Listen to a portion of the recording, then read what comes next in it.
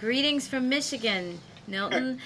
Where are you and what are you up to in these weeks before the MSL lands? I'm in Williamsburg, Virginia, helping us uh, evaluate the next class of uh, what we call discovery missions. So those are planetary science missions. So, um, you are on the science team of MSL's weather instrument, and I know you're an expert on the planet's environment. Can you talk about, after the dust settles, what kind of environment is the rover going to find itself in? Mm. It's probably a sandy soil. There are some sand dunes around, and the goal is to climb some, um, uh, um, I don't know, a hill and uh, to find the soils of different uh, times on Mars that has uh, evidence and searching for evidence of liquid water or organics in the past. Do you know uh, what the temperature of the area will be like and whether what the weather's like there? Yeah, it's warmer than where Phoenix landed a few years ago, so it's closer to the equator. Uh, during the day, can be almost close to, or even perhaps slightly above uh, the freezing point of water, you know, zero degrees Celsius. And during the nights, probably, I don't know, maybe 50, 60 degrees Celsius below the freezing. Um, when, um, when do you expect that we'll start to hear news about findings? well, anytime after landing. Uh, a few days after landing is possible. I think the first pictures that you're going to see will be the first image taken by MSL. What is what's your biggest hope for this mission? Hmm. My biggest hope is to find evidence for liquid water brines uh, close to the well, not uh, millions of years ago, um, recent past or even today, and I think that's possible below uh, a layer of soil that could be a few centimeters deep. So you're more you're more interested in finding evidence of liquid water now than of finding evidence of past or current organics?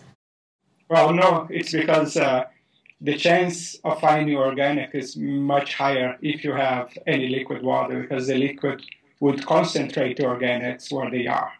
So the best place to look for organics is if we find any evidence for water activity in the past or today and search for organics there where we see the evidence.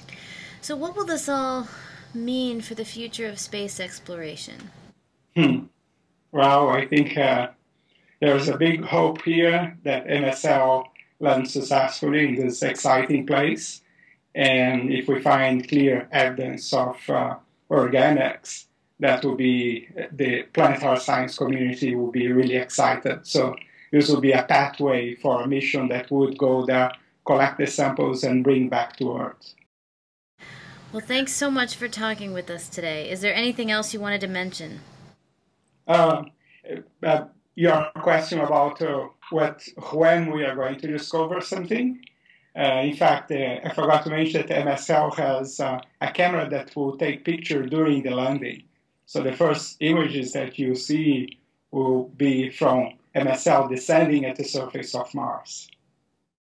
Those should be interesting pictures. Yeah, and the other thing that I'm excited about is that this place where MSL is going to land, there is evidence for salts there. So then it's, uh, I mean, it's likely that uh, water activity uh, is really um, playing a role in changing the environment there. How does this fit in with the findings that you had on the Phoenix mission? Uh, it's basically this uh, different latitude. Phoenix was in the polar region where we know that there is lots of water ice now. And the region that MSL is landing is much warmer, so there's no water ice very close to the surface. But uh, brines could be stable in regions where neither water ice nor uh, liquid water would be stable today. So it's possible to find some uh, salt that has a large amount of water in them. Okay. Thank you so much for your time. And oh, well, last question. Tell me, where will you be on landing night, and what will you be doing? I'll be at JPL with the science team. Will be very exciting. what What will you guys be be doing? We'll be preparing to operate MSL as soon as it reaches the surface. Thank you very much. Talk to you later.